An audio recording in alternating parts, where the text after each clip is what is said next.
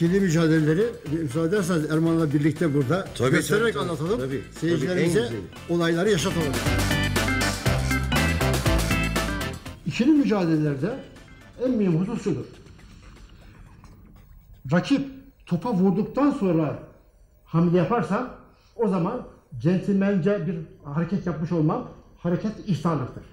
Hakem ihtar mecburiyetindedir. Mesela geleceğim topa vurdu, vur, ben girdim.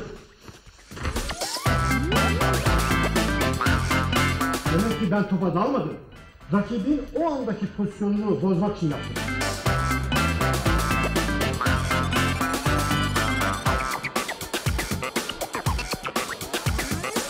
Bu topa girerken ben böyle girersem, burada girerken böyle topu sallarsam, bütün bunlar o andaki pozisyonun dışında bir de onu sakatlamak gayesi güttüğüm için kırmızı kart veriyorum.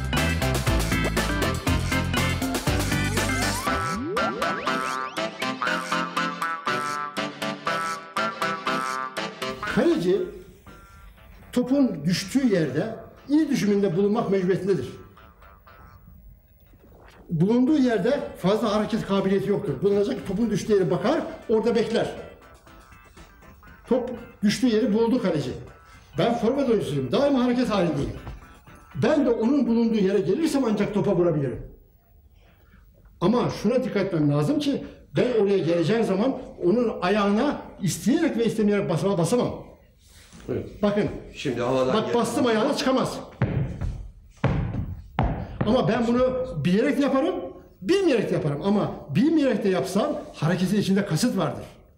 O halde koyun atışlarında, kaleye atılan topla- toplarda bütün seyircilerimiz, basın mensuplarımız, hakemler gibi ayaklara da bakması lazım.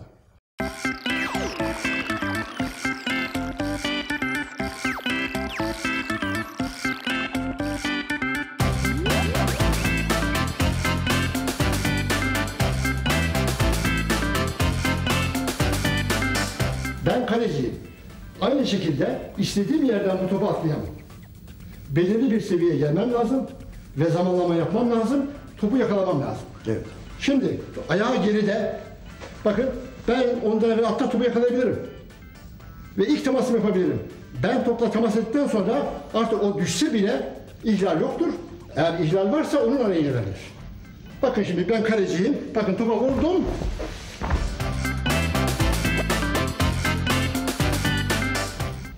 O halde pozisyonda- faul yoktur. Yok. Faul varsa o yapmıştır. Şimdi ayağı topa yakın. Topa vuracak. Şimdi ben topa da dikkat etmem lazım. Bu topa atlarsam ben ayağına yakalarım. Bakın şimdi vurdu.